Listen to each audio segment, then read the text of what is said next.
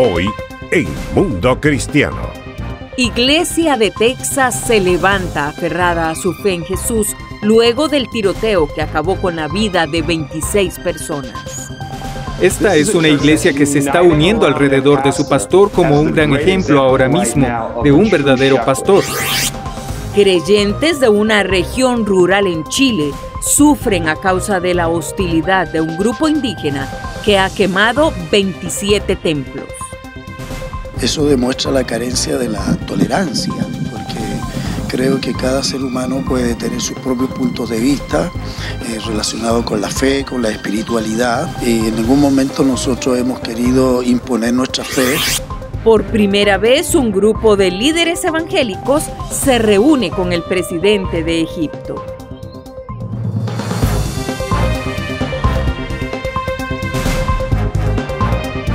Saludos, gracias por acompañarnos en una nueva edición de Mundo Cristiano. Soy Beatriz Rojas. La pequeña comunidad de Sutherland Springs, Texas, está de luto, luego de que un hombre ingresara armado a una iglesia bautista y acabara con la vida de 26 personas. A pesar de los horrores de la masacre, los sobrevivientes están encontrando consuelo en Dios. Dale Hurt con los detalles. Hemos tenido una larga noche con nuestros hijos y nuestros nietos que nos quedan. Para el pastor Frank Pomeroy y su esposa Sherry era difícil hablar sin llorar. Su iglesia fue destrozada por la violencia sin sentido. Amigos y familiares se han ido, entre ellos su hija Anabel, de 14 años. Tan sin sentido como fue esta tragedia, nuestra dulce Belle no habría podido lidiar con la pérdida de tanta familia. Belle estaba rodeada de su familia de la iglesia, que la amaba intensamente. Otras de las víctimas fue Joan Ward, quien murió cuando se colocó para proteger a sus cuatro hijos. Dos de sus hijos murieron, tenían cinco y siete años. Otro está en condición crítica. Y ocho miembros de la familia Holcomby, tres generaciones, incluido el pastor asociado Brian Holcomby, quien estaba predicando ese día, y su esposa Cristal, quien tenía ocho meses de embarazo y tres de sus hijos. Pero a pesar de la terrible tragedia, las personas de este pequeño pueblo se levantan firmes en su fe ante el país y los medios nacionales. La iglesia y su pastor se levantan en el nombre de Jesús, incluso cuando saben que sus amigos y familiares están en el cielo. Éramos una familia muy unida. Comíamos juntos, reíamos juntos, llorábamos juntos y adorábamos juntos. Ahora, la mayoría de la familia de nuestra iglesia se ha ido. El pastor Dimas Salaverios ha estado ministrando a la iglesia y a su pastor. Esta era una iglesia que glorificaba a Jesús, esta era una iglesia de oración. Esta es una iglesia que se está uniendo alrededor de su pastor como un gran ejemplo ahora mismo de un verdadero pastor. El pastor Pomeroy no estuvo en la iglesia el domingo, pero su sermón de la semana anterior a la tragedia fue que incluso si las cosas que suceden no las comprende, aún así necesita hacer lo que Dios le está llamando a hacer y confiar en el Señor con todo su corazón, pase lo que pase. Servimos a un Dios que está en el negocio de hacer milagros. Él puede sanar, Él puede producir todo tipo de frutos increíbles. El caso es confiar en Él y no en tu propio conocimiento. Dale Hurt, CBN News. En la zona rural de Temuco, en Chile, las iglesias se enfrentan desde hace meses a la hostilidad de grupos indígenas. Ya son 27 los templos que han sido incendiados. Mientras tanto, las autoridades tratan de encontrar a los culpables. Israel Vilches viajó hasta la zona para traernos los detalles. A siete horas de Santiago, en Temuco, capital de la Araucanía, las iglesias cristianas están sufriendo a causa de un violento conflicto social. A la quema de bosques y maquinaria forestal se suman 27 iglesias cristianas incendiadas. Los atacantes dejan consignas alusivas a las demandas de los mapuche, pueblo ancestral que fue despojado de sus tierras en el proceso de colonización hacia el sur que comenzó el Estado de Chile después de su independencia. Los cristianos para algunos de estos grupos son también invasores. Las iglesias de sectores rurales han sido las más afectadas. Lo que está a mis espaldas es lo que queda de la iglesia Asamblea de Dios, que fue incendiada el 25 de julio pasado. En este testimonio gráfico exclusivo se aprecia el momento en que los fieles de la Iglesia Asamblea de Dios contemplan impávidos la reducción a cenizas de lo que fuera un hermoso templo de madera levantado hace 15 años con sus propios recursos. Eso demuestra la carencia de la tolerancia, porque creo que cada ser humano puede tener sus propios puntos de vista eh, relacionados con la fe, con la espiritualidad. Y en ningún momento nosotros hemos querido imponer nuestra fe, sino que hemos comunicado este mensaje a todos, como el Señor lo mandó en su palabra a todas las naciones, a todas las etnias, a todos los grupos. Un grupo, un sector de los mapuches con una actitud bastante más radical, más violento, culpando a la iglesia como si la iglesia estuviera eh, casi oponiéndose al, al problemático mapuche. Esto es totalmente una desinformación. Por supuesto, no podemos acompañar un asunto más de violencia. La violencia hacia las iglesias cristianas ha ido en aumento en medio de fuertes controles policiales a la espera de encontrar a los culpables. Esta iglesia, el 9 de julio del 2016, fue atacada por desconocidos. Luego de ese hecho, fueron detenidos los únicos cuatro sospechosos de estos incendios, a quienes se investiga por presuntos vínculos con el grupo Huaychan Aucamapu, grupo radical indígena que reclama la liberación de los mapuches presos y que se adjudica los ataques contra las iglesias cristianas, pues sería otro adversario en su lucha política. Para el fiscal de la causa, César Chivar, existen pruebas suficientes para concluir que estas personas están involucradas en el caso de las iglesias quemadas. No es solamente la existencia del ataque eh, con el fuego a estos templos, sino que además se dejan panfletos, en algunos casos lienzos, reivindicando algunas causas. Y eso le da un contexto a el proceder de estas personas. Sin embargo, para la defensa, los formalizados son inocentes y han sido maltratados. Se ha divulgado malamente en la prensa y en algunos otros medios que eh, ellos fueron eh, detenidos en el mismo lugar inmediatamente después de ocurrido el hecho. Sin embargo, esta situación no es, no es real. Ellos fueron detenidos a dos horas y media después de ocurrido el hecho y a 7 kilómetros del sitio del suceso. Uno de los, de los funcionarios policiales señala que encuentra un fuerte olor a benzina y esto deriva en un control de identidad eh, y finalmente con la detención de, mi representado y de los otros tres imputados. Existen también denuncias de parte de ellos respecto de la actuación de los funcionarios policiales.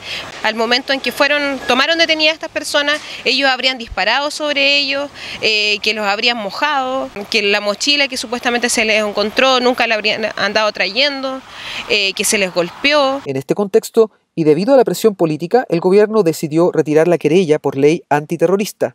Sin embargo, la Fiscalía insiste en que las pruebas contra los detenidos son contundentes.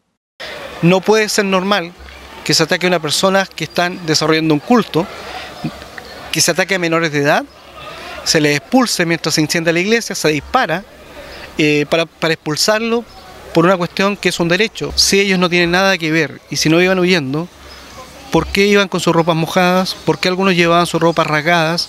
¿Por qué llevaban evidencia que lo asocia directamente al ataque? A pesar de todo, los pastores tienen esperanza en Dios que esto pronto se resolverá. Sabemos que nos ampara y que nos protege. Nosotros y nuestra gente se levantará y volveremos a construir. Después de todo se quema lo perecible. Y Jesús dijo, no temáis a los que matan la carne, pero el alma no pueden destruir. Seguiremos dando testimonio del Evangelio. Tenemos que aplicar la, enseñanza de Jesús, perdonar, tener misericordia, y acompañar al mismo adversario que en algún momento puede necesitar ayuda, estaremos presentes con ellos. La sociedad chilena y en especial los mapuches desean que se acabe la violencia, que se haga justicia y reine la paz en la Araucanía. Desde Temuco para Mundo Cristiano, Israel Vilches. Por primera vez, una delegación de cristianos evangélicos de los Estados Unidos se reunió con el presidente egipcio Abdel Fattah el-Sisi. Como Chris Mitchell nos reporta, desde el Cairo, algunos creen que la reunión representa un hito en las relaciones evangélicas con el país más grande del mundo árabe. La reunión entre el presidente El Sisi y la delegación evangélica excedió las expectativas. Raramente he estado en una reunión programada durante una hora que duró tres horas y la conversación fue muy clara, muy auténtica. No hubo ningún cuestionamiento. Fue como si fuéramos mejores amigos de toda la vida. Creo que está sentado en marcha una relación histórica entre un líder musulmán árabe y el movimiento cristiano evangélico. El escritor y experto en Medio Oriente, Joel Rosenberg, fue el anfitrión de la delegación. Él cree que el Sisi es el tipo de líder que Estados Unidos necesita en la guerra contra el terrorismo islámico. Soy un escritor de ficción y si el presidente Abdel Fattah el Sisi no existiera, tendrías que inventarlo. Me refiero a lo que estamos buscando en un aliado con los Estados Unidos. Personas que nos dicen que quiero una alianza fuerte y estratégica con Estados Unidos. Estoy luchando contra las mismas personas contra las que luchas. Durante su reunión, el Sisi enfatizó en la lucha contra el terrorismo islámico y la protección de la libertad religiosa.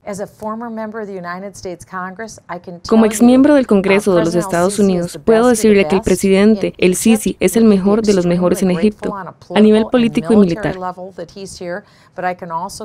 Pero también puedo decirles que, como creyente en Jesús, estoy muy orgullosa de estar asociada con el presidente el Sisi, porque él quiere estar seguro de que, como cristiana en Egipto, yo pueda practicar mi fe y mis creencias sin interrupciones. La delegación también se reunió con dos influyentes líderes musulmanes, el gran muftí egipcio y la señora Jean Sadat, viuda del expresidente egipcio Anwar Sadat, quien forjó una paz histórica con Israel que ha perdurado durante décadas. Es tan importante que un grupo tan maravilloso como ellos puedan visitar Egipto y conocer que los egipcios son pacíficos. Queremos construir nuestro país, queremos hacerlo mejor. Queremos hacer más hospitales, más escuelas, más de todo para hacer mejor al país, elevar el nivel de estándar para las personas. Egipto es una tierra rica en historia bíblica. Moisés fue rescatado del río Nilo. Es la tierra de José, los israelitas y el Éxodo. Es donde Jesús buscó refugio. Egipto se menciona más veces en la Biblia que cualquier otro país, excepto Israel. Es por eso que estos líderes evangélicos creen que Dios tiene un llamado especial a esta nación de Egipto. Nosotros como cristianos amamos a Egipto porque las escrituras indican que Dios tiene este gran amor por Egipto. Ni siquiera un amor general. Hay versículos específicos específicos, profecías específicas sobre el amor de Dios. Isaías 19 habla de Egipto, mi pueblo. Algunos creen que las reuniones representan vientos de cambio en Oriente Medio.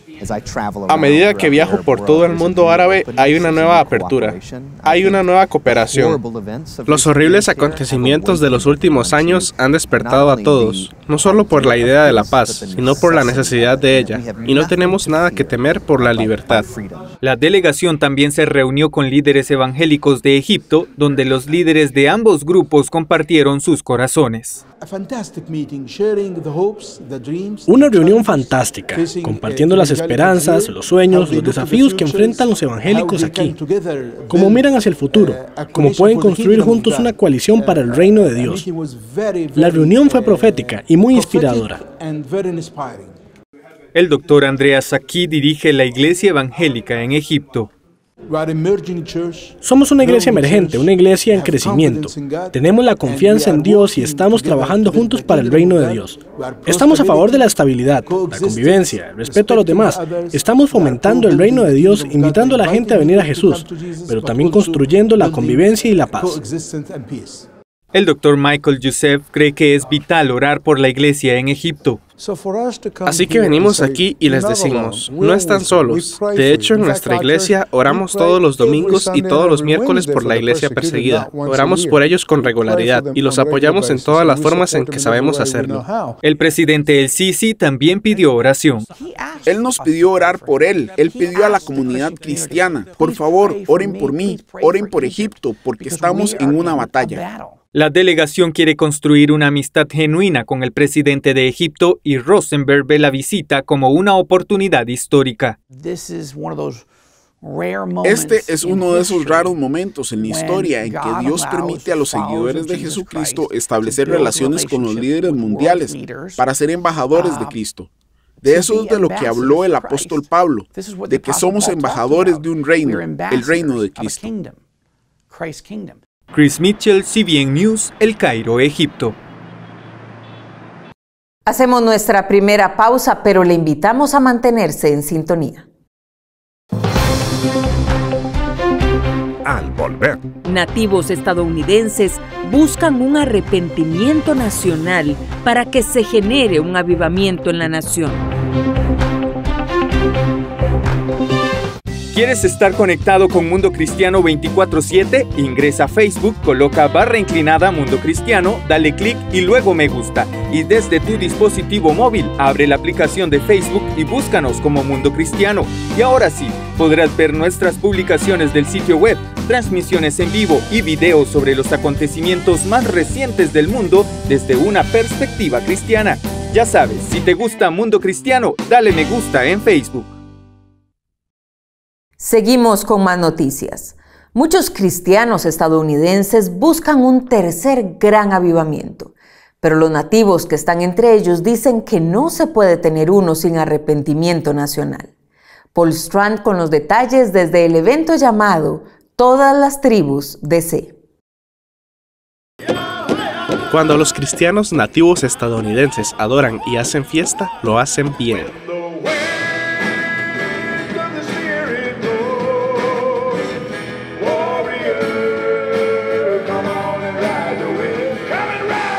Y eso es lo que sucedió en esta reunión llamada Todas las Tribus DC en el Capitolio de la Nación. Es uno de los pocos lugares donde escuchará el himno nacional en la lengua Choctaw.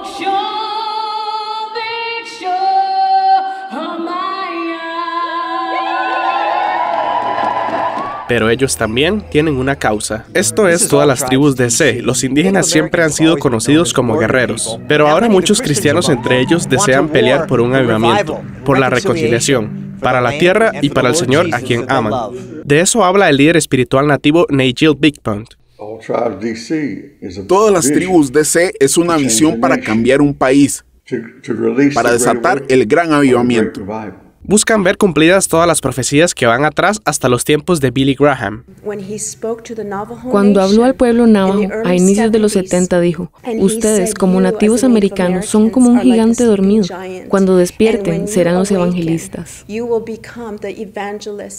Pero saben que para tener un avivamiento espiritual para todos, primero debe haber reconciliación, y eso requiere disculpar y perdonar. Big dice que si Estados Unidos se disculpa por lo que hizo a los nativos, el resto del mundo ya no podría coaccionarlo con eso. Otros países que no quieren a Estados Unidos se alimentan de lo que ocurrió con los nativos. Alemania, Hitler, usó eso contra los judíos, lo que el país le hizo al primer pueblo. En 2016, el primer pueblo dio el primer paso, ir a la capital para perdonar a quienes les persiguieron. El siguiente paso es recibir una disculpa de los líderes nacionales. Lo sabemos, habiendo perdonado, incluso a un país que nunca lo pidió. Creemos que deben dar una disculpa. Eso desatará esta nación. Big Pond cree que el presidente Trump es quien lo hará, porque no es un político. Requiere de un presidente que no está integrado a todo lo político, que tiene corazón, espíritu, un ideal. Los idealistas buscan cosas diferentes y cambios. Los nativos aquí dicen, ¿qué puede perder el país con una disculpa nacional? Seguramente el Señor lo bendecirá y podría haber mucho que ganar. Paul Strand, CBN News, desde todas las tribus DC. En China, un músico popular perdió sus ganas de vivir después de un terrible incendio. Al tener quemaduras que lo desfiguraron y cicatrices que cubren la mayor parte de su cuerpo, él deseó terminar con su vida. Pero una misteriosa voz que le recordó las palabras de su madre lo detuvo a tiempo y le ayudó a encontrar un nuevo propósito. Menfeili nos informa advertimos que algunas imágenes podrían herir su sensibilidad.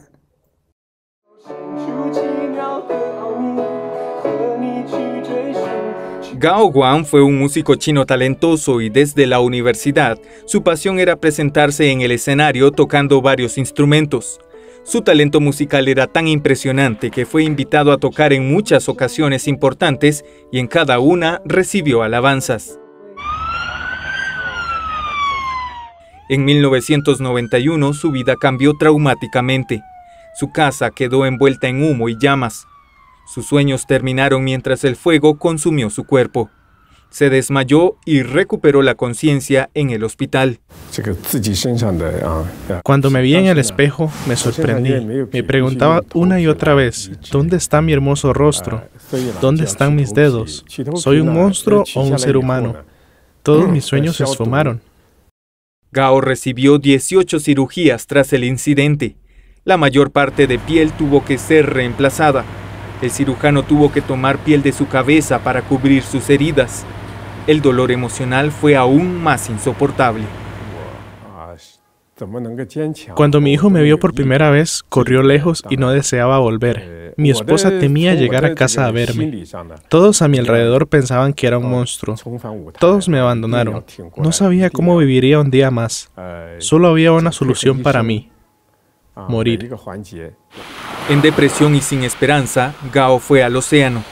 Vio las olas y olfateó el mar. Estaba listo para terminar con su vida. No deseaba ser una carga para su familia ni sí mismo.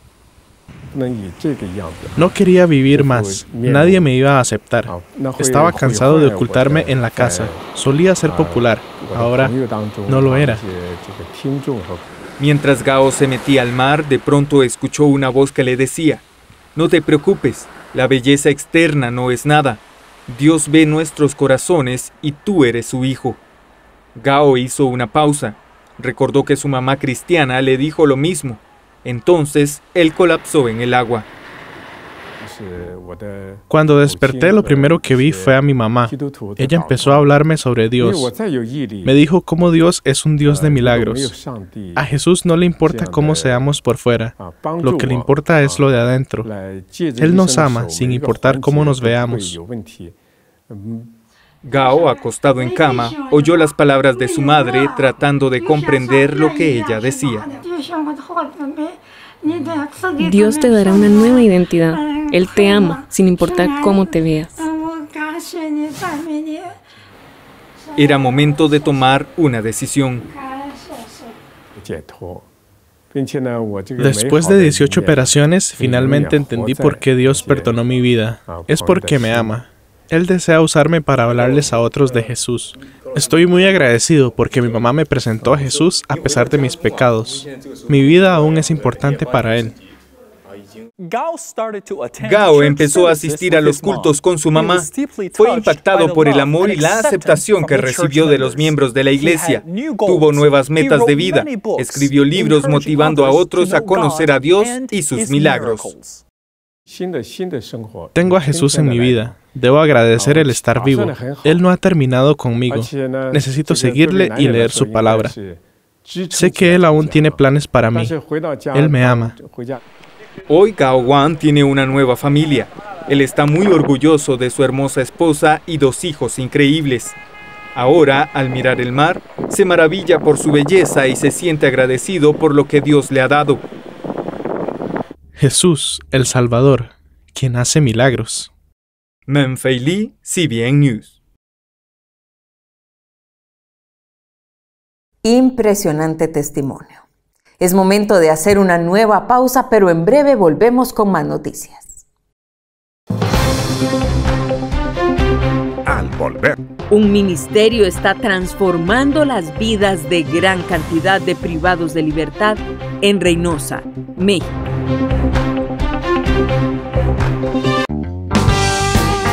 Dos días a la semana nos conectamos contigo para darte las noticias más actuales del acontecer cristiano. Donde la tecnología nos permite llevarte las noticias de forma rápida, ágil y oportuna. Únete a nosotros cada lunes y viernes a las 2 de la tarde, hora centroamericana. Con nuestro equipo de colaboradores te mantendremos informado a través de las redes sociales. Un segmento donde tú también formas parte. Con tus comentarios en vivo. Mundo, Cristiano Live. El Ministerio Semilla de Mostaza en Reynosa, México, está transformando las vidas de una importante cantidad de privados de libertad por medio de la palabra de Dios al demostrar el amor de Jesús a través de sus acciones. Este reportaje nos llega gracias a la Alianza Global de Noticias. Mientras las autoridades y estos muros resguardan a peligrosos delincuentes en el penal de Reynosa, México, son denominados la escoria de la comunidad. Y que a veces hasta te da temor que te platiquen lo que hicieron porque han hecho cosas fuertes, o sea, muy, muy fuertes como matar a sus hijos. Un ministerio de la iglesia Semilla de Mostaza les visita para compartir el Evangelio de Jesucristo. Señor, pon tus palabras y tu sensibilidad, la sensibilidad de tu espíritu, Señor, para llamar al Señor a los que están aquí. Pero uno les lleva la palabra y les decimos, ven y ven. Misericordia, amor, gracia y perdón. Si yo recibo el señorío de Dios sobre mi vida y creo lo que Él hizo, soy llamado automáticamente hijo de Dios. Son los temas que escuchan semana a semana a través de la predicación expositiva y el estudio de la palabra de Dios. Ya de semilla, ya somos aproximadamente como 20 servidores. Sí, hemos tenido invitados especiales como Héctor Hermosillo cuando yo leo mi Biblia me doy cuenta que esta participa de los mismos atributos de la verdad. Ha sido Fermín Cuarto. Quisiera darte gracias, personalmente cara a cara, por todo lo que has hecho. Hubo los permisos eh, para poder ingresar a una plataforma enorme con equipo de sonido profesional este, y pues que tuvo la captación casi total para toda la población del área varonil. Pero sí existe un Salvador, Cristo el Señor. Cuando Fermín Cuarto termina, mucha gente le sigue y le dice, ora por nosotros. No guardes a él, Señor, guarde sus pensamientos, Padre, que le permita, Señor, guardar tu palabra, Señor, conocer más de ti, Señor. Que... La visita especial de Rosilia Ruiz, fundadora del Centro El Recobro, permite compartir su testimonio en el sector de mujeres del centro penitenciario. Y dice, y nosotros damos gracias a Dios, hermana, porque ustedes no, no han venido eh, con el afán de juzgarnos, nos han venido a amar y nos han traído la palabra. Proclamar el Evangelio y disipular a los que han sido desarraigados socialmente es el llamado de semilla de mostaza. Pero cuando ellos nos dicen que, que la escritura está llegando a ellas y que la verdad está haciendo una transformación en ellas, guau, pues yo le digo al Señor, gracias, porque ni merecedores somos de estar aquí.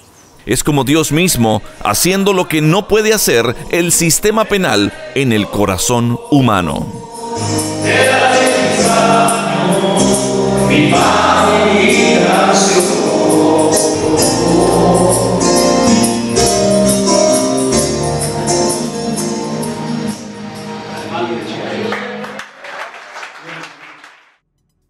Muchas gracias por habernos acompañado durante esta edición. Le mantendremos informados a través de nuestras redes sociales y nuestro sitio web mundocristiano.tv. Que Dios le bendiga.